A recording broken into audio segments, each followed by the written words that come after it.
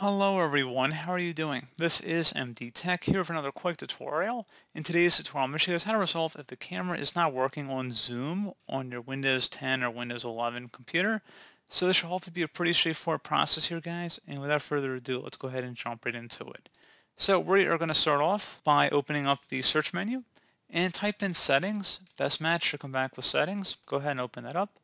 Select privacy and security on the left side and then on the right side, you want to scroll down underneath App Permissions, and you want to select Camera. Versus Camera Access, you want to make sure that's toggled to the on position up here. And then you want to scroll down, and if you see Zoom in this list, you want to go ahead and toggle to the on position as well. And that's pretty much it. So, as always, thank you guys for watching this brief tutorial. I do hope I was able to help you out, and I do look forward to catching you all in the next tutorial.